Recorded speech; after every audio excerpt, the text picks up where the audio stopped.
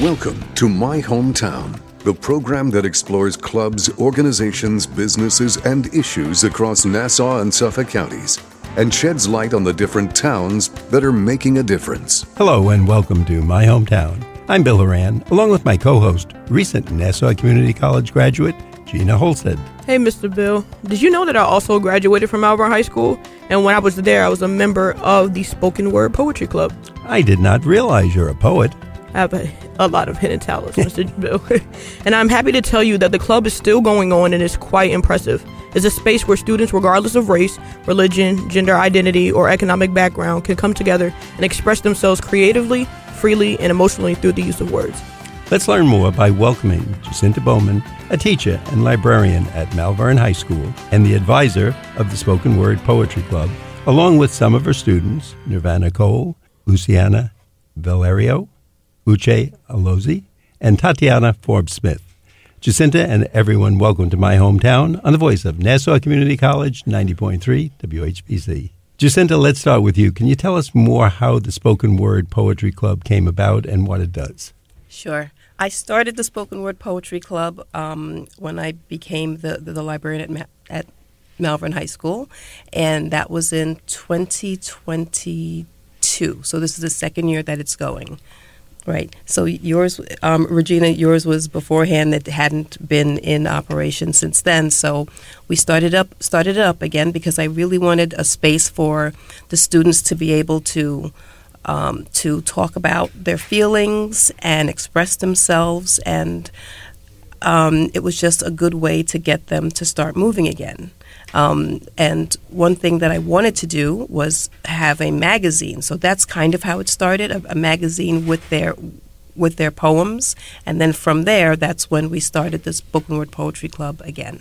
Did that take off immediately, or was it students kind of reticent about joining a poetry club? Actually, we had quite a few students that were really excited about it, and um, one student who graduated last year, um, he's the one that took the bull by the horns and said, "We're going to do this." And he went into to the principal and said, "We have to have this club," and that and he got over 50 signatures to start the club. That's impressive. Yes. And if I remember correctly, poetry was only done under the Black uh, Studies Club, right? Because I remember um, I was president at the time when I went to Malverne. They had once a year, like yearly, where um, students would showcase their poems, but it wasn't really considered the poetry club. It was just under a different club. So it's good that um, that's a club that's now in fruition and it actually exists because we had a lot of poets at Malverne. Right.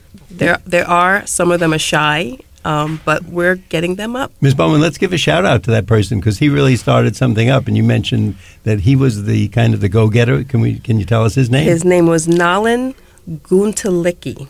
That's a tough one. Let's okay. spell it, but no, good for him. No, and, and he deserves a shout out. And Gina, you never you were president. Oh yes, my Black Studies Club. Yes, I. That's why I I got um c- confused because I always considered that club like the poetry club, but it wasn't really that. It was the Black Studies Club. Yes, I was president of that club. You really have a secret life. You know, I'm probably going to find out like you were a spy in the meantime and you did things for I the can't- government. it'll or always be a secret, though. It'll Okay, oh, it's going to be a secret. Okay, we'll talk later. Yeah. So, how did you guys' journey begin as a poet? I want to start with Nirvana. Oh, um, so for me, uh, growing up, um, my dad, he's very into poetry. Uh, and, you know, um, he would always come up with his own poetry. He would have like romance poetry, mostly romance. But, um, and he would always make my brother and my sister and I recite it um, over and over again until he felt like he got it right. And um, it made me really love poetry and really understand the power behind words. And, you know, that's what really inspired me when it came to poetry. Um, but not just that, um, even with my dad being the main factor, um, a lot of people wouldn't expect this from me, but I really love listening to Eminem's music. And I find that his rap, uh, his rapping, is very poetic. And that has recently inspired me to join the poetry club to do spoken word and to write poetry, you know, very truthful and very raw, you know, I poetry. Love, I love that because there's a very big correlation between music and poetry, Yeah. and I think that's how a lot of p- conscious people, I would say, like J. Cole or Kendrick Lamar and Eminem being one of those prime examples, how they start as poets and then kind of shift, make that shift into music. Because music is literally just poet um, poetry with instrumentals behind it. Um, what about you, uh, Luciano? How did you uh, begin your journey as a poet? I started poetry because I wanted to write songs. I know that's right. And I love music and I love that when you listen closely, like it can make you feel. It can dig up those emotions from within you and really make you feel. And so that's why I started writing poetry because I wanted to make music too. You know, as you're talking about this too, you can see how happy on your face. We love to see people who, no matter what they do in the world, the, the jobs, teaching, police, that they really love what they're doing every day because we're going to be doing it for most of our life. And I can see, just as you're talking about poetry, you're beaming over here. You're like that little kid who just got the Christmas presents or the ice cream store, etc. So this is something you really like. Oh, yes. It, it definitely is. Okay. And and Bill, just you saying that, that's why I wanted to have this club because I wanted to have this reaction come out. So yay. It's important. And you guys, um, Nirvana, you talked about how your dad was a big influence, especially of your early beginnings as a poet. Um, my next question is what, like, poets specifically or pieces of literature have had the most significant influence in your work? Um, so I'm a very avid reader, and um, I really love my favorite po- my my favorite poet. My favorite uh, author is actually Ray Bradbury, and um, he his book Fahrenheit 451 uh, had gotten me into reading, um, and I just love all like the metaphors and the similes and just everything about that book. Like I rave about it to everybody, and even though it's not poetry in its general sense, I feel like the poetic aspect of how he wrote, I would say that you know that is like my favorite like form of like poetry i guess just like metaphorical writing but um, if we're going to talk about literal poems i would say um, james baldwin's paradise um, i like memorized the entire thing that would definitely be like my favorite poem though That's a really good one. Yeah. What, what about you, Luciana? Uh, well, I don't really have a favorite poet because I read like little snippets from like everyone. But someone who writes like poetically, I'd say Mariah Carey. We belong love together is a is a ballad, so Oh, I'm with you on that one. Now, what what inspires you as you're going through the day? Do you just see something, a flower, or a puppy, or a kitten, or something that might not even most of us might not even think of as, as poetic, a car engine or a shovel or something, and does that get your mind thinking in poetic terms?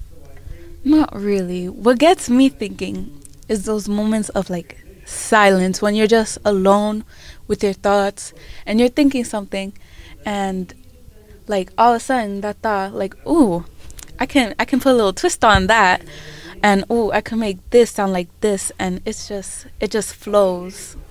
Now, I'm going to ask you a secret, and hopefully you won't get in trouble with any of your teachers. Do you sometimes sit through math class and say, uh, "Gee, I don't really like the math too much, but I'm getting an idea for a poem, so I'll start writing it"? I sit through math class and do a lot of things Yeah, and math okay. is not one of them. okay, we'll leave it at that, so we don't want to get you in trouble. And it, we're not just picking on math. I used to be a math teacher, but it could be any, maybe chemistry or history, something you, you might not have as strong an interest in as you do in the poetry. So uh, that you get your inspiration from there. How about you, Nevada? Um, for me, I 100% agree with Luciana. For me, at least, not during school. Um, I I'm pretty focused during school, although I daydream a lot outside of it. Um, and like Luciana said, during those times of silence, like the best poetry, actually, if any of the poetry that I wrote, I uh, I wrote it like at 3 a.m. in the morning. I would like suddenly wake up and I would just like go to my phone. I would start writing whatever I was feeling, whatever dream I had. Like I, I have very vivid dreams. So like, um, yeah. So like during those times of silence, like early in the morning or very late at night, that's when I tend to get the best inspiration for my poetry. Now, if I can ask a question, jump in, Gina, on your time. Uh, Like, do you take out your phone and, and start taping it? If you think of something at 3 a.m., at 3 a.m., I'm sleeping. So if, if you get an idea, do you take out the phone or do you jot it down or do you tape it or do something to remember it? Um, I don't tape it. I feel like I, I, I just tend to like just type it down like on notes and stuff like that. Um, I never really thought about taping it. That's actually really interesting. I do that more when it comes to like when I think of like song lyrics. Um, but uh, I, I just start writing on my notes, just what I feel. I'm learning so much about poetry. This, these are things I never knew about. And here I am sleeping and you're writing poetry. I'm wasting those good hours at 3 a.m. So I want to piggyback off of what you said because you just said that um, uh, 3 a.m. is like the kind of you know specific time that you kind of find that your best work comes about. Uh, does it? Do you find it that it influences like the tone or the mood of your poetry? And is it like a preference, or does it normally happen? Do you prefer to um, write like in the early morning as opposed to like middle of the day or um, late at night?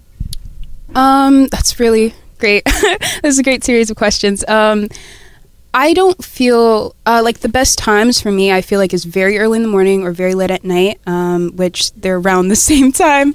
Um, but I don't feel like it affects the mood. I think it's um, a lot of actually a lot of po- a lot of poems of mine are very. Uh, I feel like are very truthful and raw. Just like those deeper feelings that um, I feel like maybe maybe I don't always focus on those deeper feelings, and I feel like during those times, um, like early in the morning, late at night, like I can really think about those things and really be able to translate them into words. And I feel like those times bring out the truth in me, if anything. And I don't feel like it really brings out like any sort of mood when it comes to like specific genres, but I feel like just truth in general. Beautiful, beautiful, beautiful. I want to remind you, listeners, that you are listening to my hometown on the voice of Nassau Community College, 90.3 WHPC. My name is Gina Halstead here with Bill Horan, and today we are learning about the Spoken Word Poetry Club at Malverne High School. Our guest includes Ms. Jacinta Bowman, a teacher and librarian at Malverne High School, and the advisor to the club, along with some of her students, Nirvana Cole, Luciana Valerio, Uche Alozie, and Tatiyana Forbes Smith. Now, Luciana, I want to follow up and ask you the same question. Do you uh, prefer a certain time of day to create poetry? And do you find it uh, influencing your tone or mood of your poetry in terms of it being, you know, happy as opposed to very gloomy or things of that nature?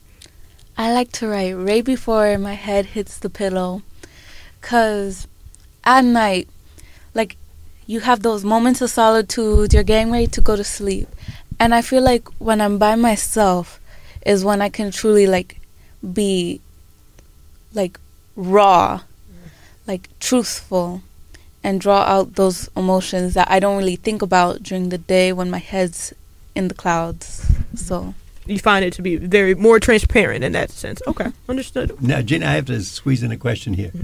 Luciana, when you get that idea in the middle of the night, do you call up Miss Bowman and call and say, "I got an idea," and she says, "Go to sleep." no, I I make sure I'm very discreet. I'm supposed to be sleeping. No one knows about my secret time. Okay. and Miss Bowman should have her own time, and probably 3 a.m. is is not when she wants to be teaching or doing something uh, that would be called on the job, so to speak.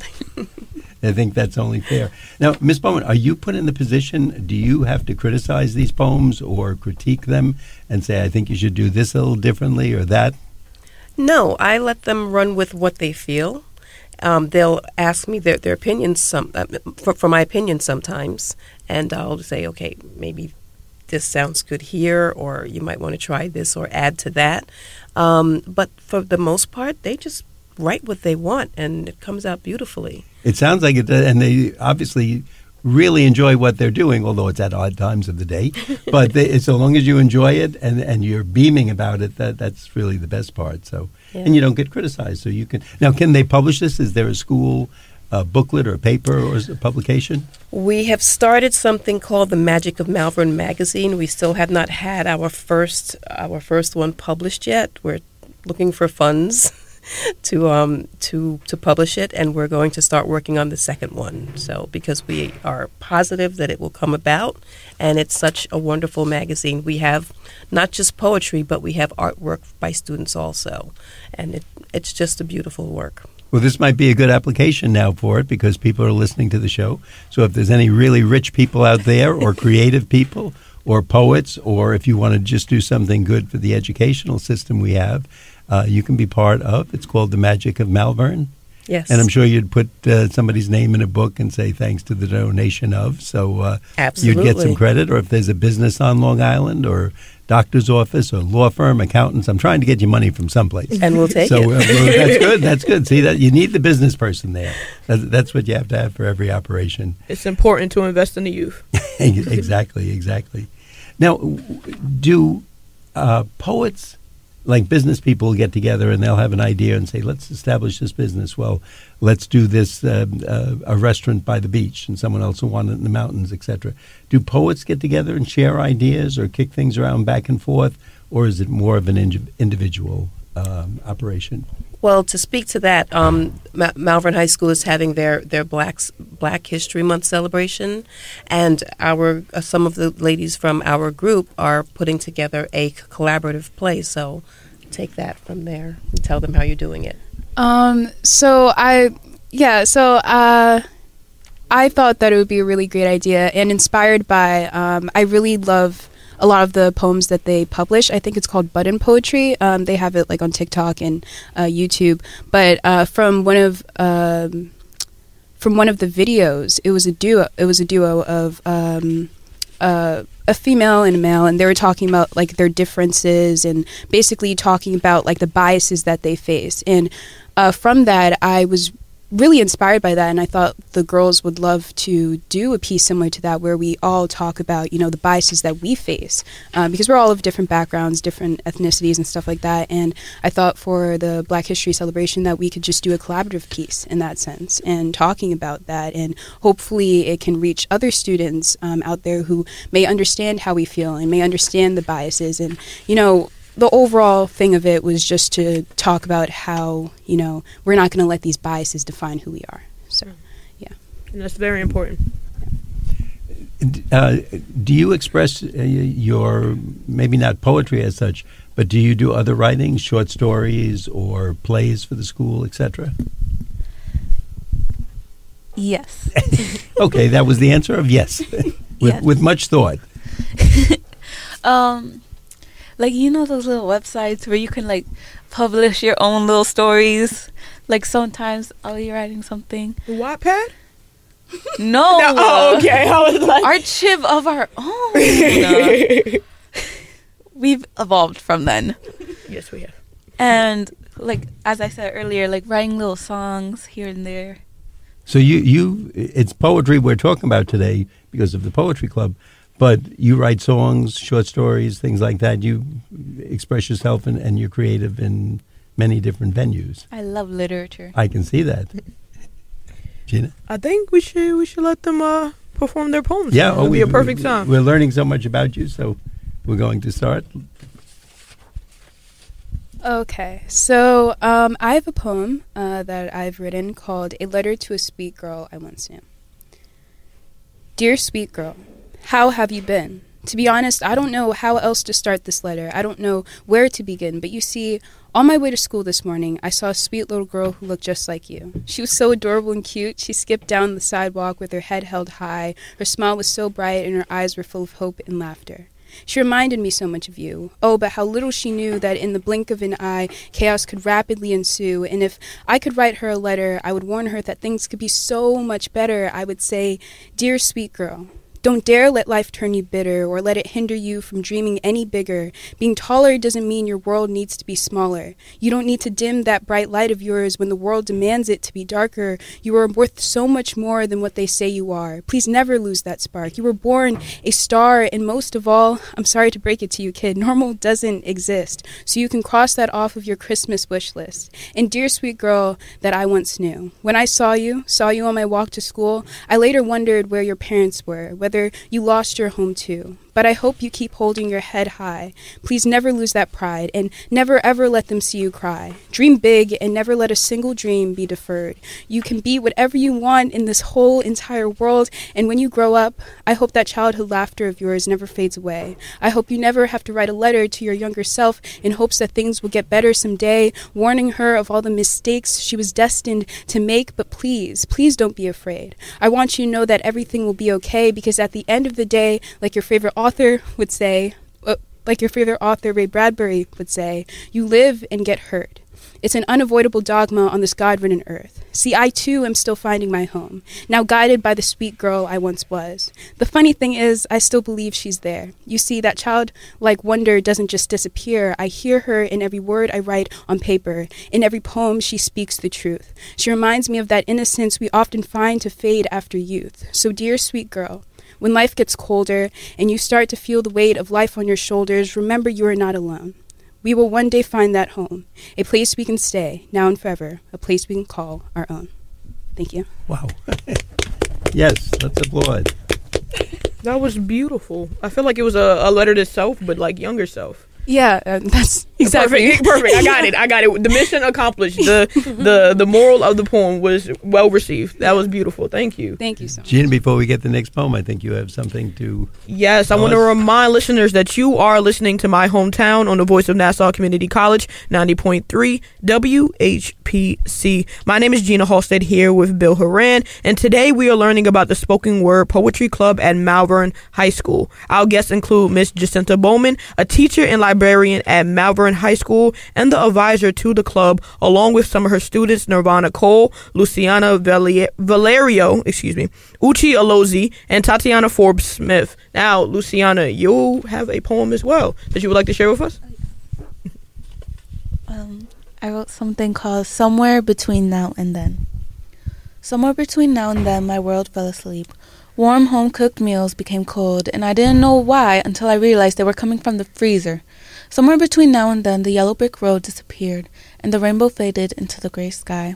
Somewhere between now and then, blissful ignorance was replaced by a rude awakening. The difference between fantasy and reality couldn't have been more distinct. Somewhere between now and then, the word love slipped my vocabulary as the people in my life slipped my mind. Selflessness and abundance was replaced with my selfish ego. But everyone must wake up somehow. Somewhere between now and then, I started to feel the love again, and the words I love you, mom, slipped my tongue. Somewhere between now and then, the sun and the moon danced once again, and I started saying hello. Somewhere between now and then, I woke up. This is so impressive. I, I really can't get over that you're coming out with this. Uh, how many do you, do you write or try to write a poem a week or a month or a year? Or how often do you just knock these poems out? I don't I don't number myself. I'll just knock one out whenever I can cuz like one thing about me, I like quality over quantity. Mhm. So, And you So guys, just- are you sure you're in high school? She's ninth grade. Are you really ninth grade? I'm just a little baby, guys. And Nirvana, what, what grade are you in?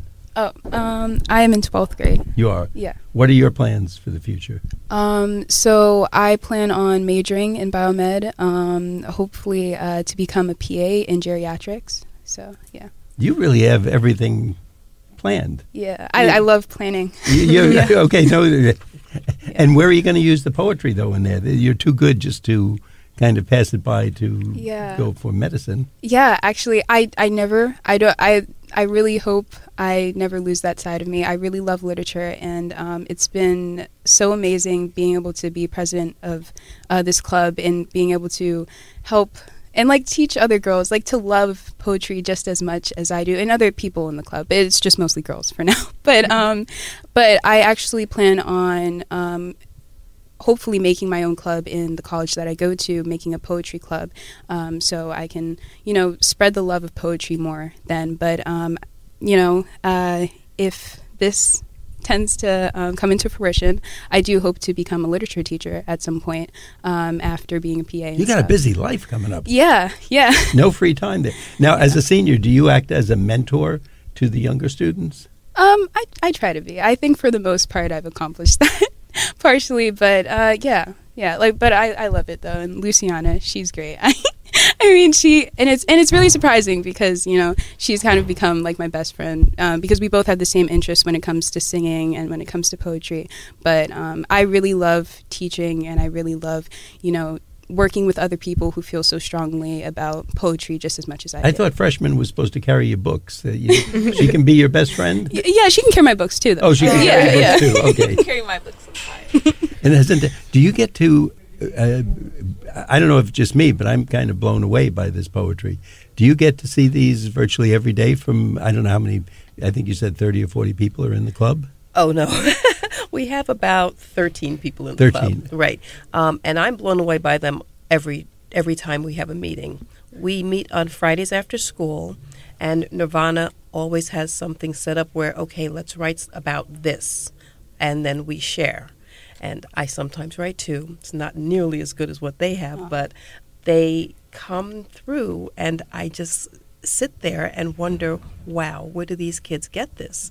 And they just have such phenomenal ideas, and you heard them just now. Yeah. Yeah, so, but she makes sure that every time that we meet, there is something f- for her to teach them and for them to learn and to try to accomplish during that time. Now, are there any, and I may be using the wrong terms, but contests, tournaments, um, competitions among poets, or uh, it, whether just to expose them to other schools or uh, to see who, who is going to be rated the best, if, if, if there is such a thing? Well, we haven't done anything um, with other schools yet. I have been looking up things like that, but what we do have at Malverne High School is our annual Poetry Slam.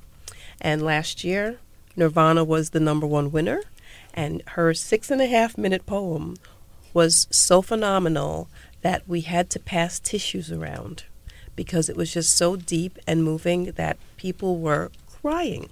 It was really wonderful. Gina, I think we better get autographs before the show's over. you should. Today, you know, You really Where's She's- the paper and pen? Get the, I got the pen. You got the. We'll use the backside of the scripts here that we're working on. And we'll we'll take the time now to invite you to this year's April fifteenth Poetry Slam, and uh, please come out and join us and see how we do. Is someone going to do a poem on taxes? Because April fifteenth, you know, it's got to be that. That would that would be the perfect lead in. That'll get you in Newsday. That'll get you in everything. So, well, and this has been terrific. I really, I, I can't tell you how impressed I am. And uh, can I ask, what is your future plans, Louisiana? I want to be a singer. You do okay. Nothing wrong with that. And uh, you'll have a manager here who's uh, your your uh, mentor and uh, best friend, right? Oh yes. We'll do it all together. This has been terrific, and really, I, I'm certainly impressed. I think Gina is. She's been at the school, so she knows more about this than I do. But uh, you have a very impressive group. Unfortunately, our time goes much too quickly, so I want to thank Miss Jacinta Bowman, uh, who's a teacher and librarian at Malverne High School. She's advisor to the Spoken Word Poetry Club, and the students, Nirvana Cole, Luciana Valerio, Uche Alozie, and Tatiyana Forbes Smith. Forbes Smith, I'm sorry. Thanks so much for being here with us today. Ms. Bowman, thank you for bringing these wonderful students to WHPC. Thanks Thank you for, having, having us. I'm Bill Horan. I'm here with uh, Gina Halstead, a recent graduate of Nassau Community College and Malverne High School. We want to thank you for listening to this week's episode of My Hometown. We like to get your feedback on my hometown. Send your comments to WHPC at ncc.edu. Nassau Community College, where success starts and continues. Till next time, this is Bill St. James. And remember, there's no town like your hometown.